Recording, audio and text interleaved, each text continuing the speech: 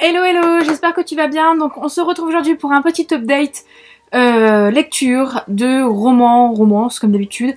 Euh, des petits livres que j'ai lus courant du mois d'avril. Euh, et donc je vais t'en parler aujourd'hui. Il y a deux lectures audio et deux lectures papier. Donc du coup bah voilà quoi. On va commencer. sachant que je t'en parle aussi déjà dans le bilan. Donc là on va essayer d'en parler un peu plus, pardon. Et du coup ben voilà. Euh, je vais commencer par te parler de Hors de contrôle de Georgia Caldera que j'ai... Enfin là c'est les éditions Pygmalion mais moi je l'ai écouté via Audible. Donc euh, c'est un second tome donc je vais pas t'en parler trop en large et en travers pour pas que tu te spoil. À savoir que j'ai déjà... Euh, comment dire il y a une chronique sur le blog et je t'en ai parlé en fait, je t'ai parlé du tome 1 dans un précédent update, donc si j'ai le courage je le mettrai le petit i là quelque part. J'ai encore mon chat qui fait des conneries. Ah, bref, c'est pas grave. Euh, je sens que je vais m'énerver comme d'habitude. Ah mais il voit des mouches imaginaires, donc c'est ça le problème. Comment on peut faire avec un chat pareil? Ce serait marrant que je vous montre ce qu'il fait. Non, bon bref. Donc du coup, on va peut-être parler bouquins plutôt que de parler chat. Hein. Euh, donc du coup, j'ai lu ce, second tome, je l'ai écouté en livre audio, j'ai enchaîné en fait directement après l'écoute du premier tome, j'ai euh, sauté sur ce tome 2. Et euh, franchement, euh, voilà, je n'ai déjà parlé en, long, en large et en travers, mais c'est un pur coup de cœur cette saga. Ces deux tomes-là, c'est des pépites. ils sont vraiment à lire et il faut les lire et voilà, tout simplement. Je vais pas m'étaler parce que sinon la vidéo va durer 15 ans et j'aimerais bien faire une vidéo plus courte cette fois-ci. mais franchement, ça a été... Euh, j'ai hâte de lire d'autres sagas de Georgia Caldera, d'autres livres de Georgia Caldera. En fait, là, il me reste plus que dans ma palle, en fait, il me reste plus que euh, euh, Victorian Fantasy de Georgia Caldera. Donc du coup, ça fait aussi un moment qu'il est dans ma palle, celui-ci. Mais du coup, ben, j'essaye de freiner un peu parce que je me dis que... ben après quand j'en aurai plus, moi j'aime bien, c'est des, auteurs doudous en fait, c'est des, auteurs que j'aime beaucoup lire quand, quand ben voilà, que j'aime beaucoup lire. Donc du coup, euh, quand ça, fait du bien en fait, c'est comme, comme Sophie Joma. Euh, je garde toujours un livre de secours d'elle dans ma palle, comme ça je sais que quand j'ai une envie de Sophie Joma, ça fait bizarre dit comme ça, ah ben euh, je le sors de ma palle. Donc là voilà, fonce. Ensuite, avec Steph, donc je te mettrai toutes ces infos en barre d'infos, hein, comme à chaque fois je dis toutes ces infos en barre d'infos. Euh, donc je disais, je te mettrai euh, son blog, etc. en barre d'infos. On a lu Strong sous ta peau de Scarlett Cole, publié aux éditions Et moi.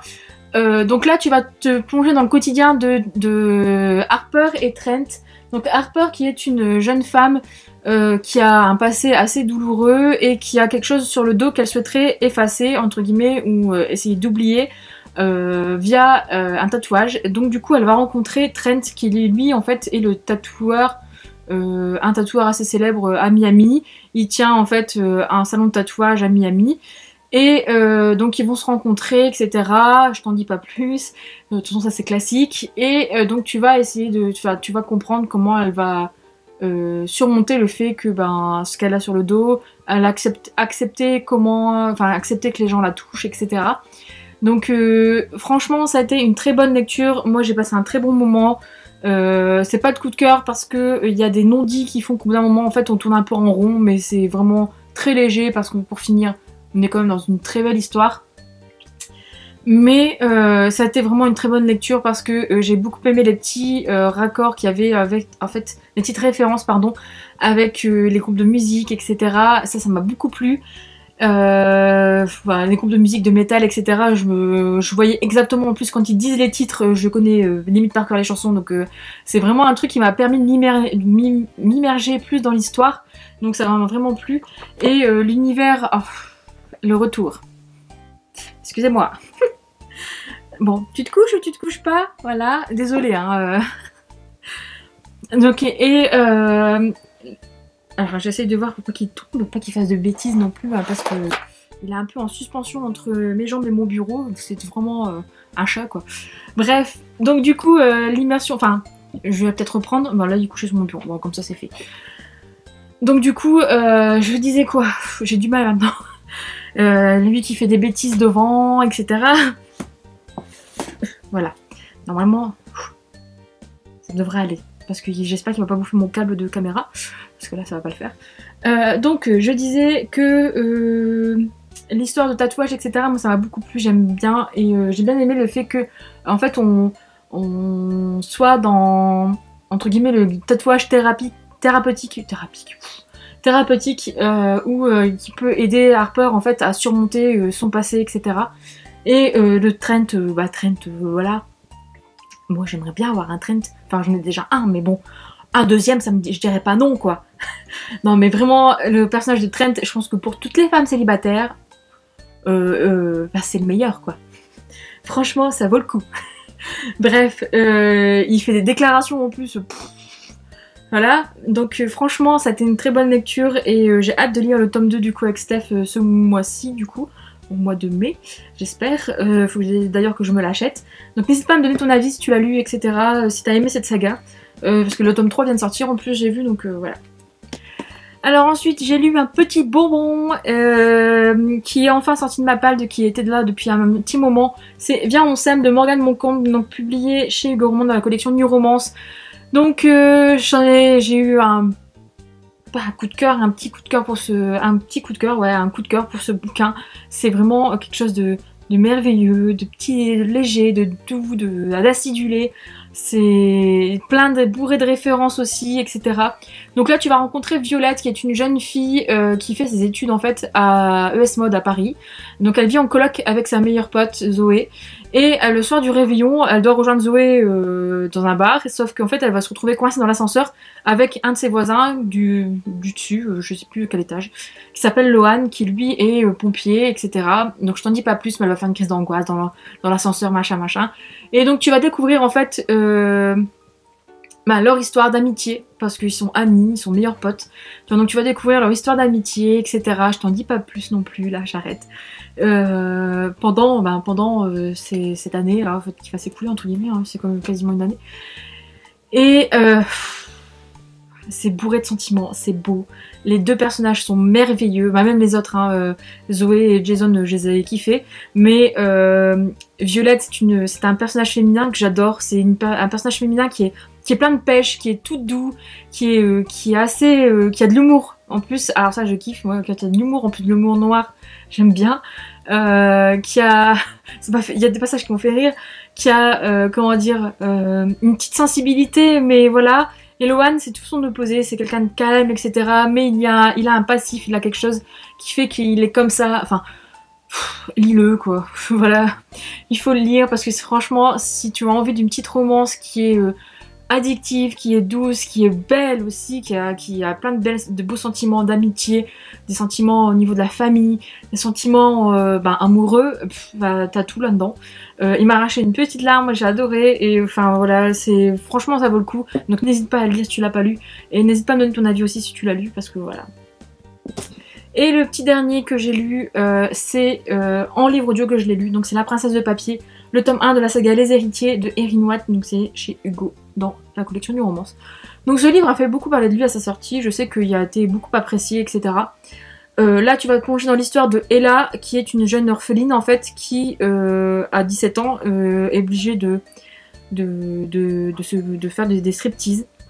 Tout simplement parce que sa maman est décédée et qu'elle doit payer les factures de son appartement. Et donc à côté de son bah, de, du fait qu'elle va au lycée, elle fait des striptease. Sauf qu'un jour en fait il y a Kaloum Royal qui va venir la rencontrer qui va la rencontrer et qui va lui dire qu'en fait il faut qu'elle vienne vivre chez lui tout simplement parce que euh, euh, elle est la fille de, euh, de, son meilleur pote décédé et il a promis à ce pote entre guillemets enfin à son meilleur ami de bah, de la protéger jusqu'à son indépendance etc donc Ella va se retrouver bah, à vivre dans une big baraque avec tous les royals, c'est-à-dire les cinq garçons de Calum Royal. Donc tu as deux jumeaux, enfin une paire de jumeaux, on va dire ça comme ça, euh, Reed. Euh, alors les jumeaux, je suis désolée, mais c'est encore dans mon bilan. J'ai encore oublié le nom des deux jumeaux. Donc tu en as un qui s'appelle Sébastien et l'autre, je ne... inconnu au bataillon. Je ne m'en souviens plus. On va l'appeler comme ça, l'inconnu. Donc bref. Et donc du coup, euh, tu, vas te, tu vas te retrouver avec, donc, avec Ella et ses cinq garçons euh, dans la maison, sauf que les cinq garçons ne l'acceptent pas. Voilà. Voilà, j'en dis pas plus. Euh, comment dire? Moi, ça n'a pas été ça parce que je l'ai écouté en fait en même temps que je lisais la version papier de ça. Donc déjà, ben, il y a pour moi un gros fossé. Ça, c'est clair et net. là où il y avait des super références, etc., là, t'en as quasiment pas beaucoup. Et moi j'aime bien quand il y a des références parce que surtout dans une romance, t'es obligé, obligé d'avoir quelque chose qui te ancre dans le récit, qui te qui t'immerge dans le récit. Et là le truc c'est que je n'ai pas été immergée. En plus de ça, au départ, je trouvais Ella vraiment bien, bien droite dans ses baskets, etc. Elle avait un personnage, enfin, elle avait vraiment un caractère, etc. Sauf que en avançant, j'ai trouvé qu'elle stagnait et qu'elle restait dans son, enfin, qu'elle commençait à se mettre confortablement dans la bulle que les royales créent pour elle. Et donc là, ça, j'ai eu un peu de mal. Donc euh, du coup, je suis un peu déçue à ce niveau-là. Et euh, il y a des passages, le passage avec Daniel que j'ai pas aimé, euh, donc voilà, et j'ai pas trouvé ça transcendant en fait. c'est pas la saga du siècle pour moi. voilà, il y a d'autres trucs qui valent largement le coup et voilà. Donc du coup, voilà. Ensuite, en plus, la fin, je, oui, elle est très, très vicieuse, on va dire ça comme ça. Moi, je l'avais vu arriver à partir d'un moment, euh, enfin vers la fin, j'avais vu arriver le truc, je me suis dit, oh là là, c'est ça qui va se passer, je le sens bien. Surtout à partir d'un moment pile poil où il se passe un truc, je me suis dit, oh là, qu'est-ce qu'elle fait là, elle? Bref, euh, je l'ai vu arriver euh, un 15 000, mais bon, c'est pas grave. Et donc, du coup, ben, la suite, oui, ben, j'ai envie de la lire, sauf que j'ai pas trop aimé le personnage de Reed, je le trouve détestable. Donc, quand ça colle pas avec un personnage masculin, ben, on l'a vu avec Game of Love je n'ai pas lu le tome 2 parce que j'ai pas aimé euh, le personnage de Jake. Euh, je le trouvais détestable. Et la Reed, bah, c'est pareil. En plus, ce qui se passe à la fin, c'est encore pire. Alors là, j'ai envie de lui 5 claques et, voilà. Un petit aller-retour, ça lui ferait du bien. Donc du coup, euh, voilà. Et puis j'ai l'impression que du coup, que avec ce qui se passe à la fin, j'ai l'impression que tout ce qui se passe avant n'est pas crédible et a été décrédibilisé en fait par juste un petit truc. Et c'est dommage. Parce que du coup, ben, je sens que le tome 2 va me saouler parce qu'il va vouloir, voilà, euh, je vois les trucs arriver déjà, j'anticipe, mais bon. Bref, donc du coup, euh, voilà, c'est pas trop ça, c'est une bonne lecture, mais sans plus. Je m'attendais peut-être à quelque chose de mieux pour moi. Euh, par contre, petite mention pour les deux jumeaux parce que bah, je les trouve cool. J'ai bien aimé leur histoire, enfin, ce qu'on voit en fait de leur histoire. J'ai trouvé ça sympa et je me dis, il y a quelque chose à faire avec les deux jumeaux. J'espère que voilà. Je suis curieuse parce que enfin, ce qu'on en découvre là, je me dis mais qu'est-ce qu'ils nous font? C'est pas possible. Ça risque d'être marrant ce qu'ils font. Donc après à voir parce que euh, je ne sais pas s'il y a un tome consacré aux jumeaux, donc j'aimerais bien. Parce qu'en fait là le souci, je pense que c'est il y a trop de personnages. Il y a cinq garçons plus Calum, plus les, les personnages connexes, etc. Au début j'étais un peu perdue quoi. Je me dis alors après c'est peut-être parce que c'est une lecture audio que j'ai faite aussi et pas euh, lecture papier, mais en tout cas voilà, ça n'a pas été transcendant pour moi.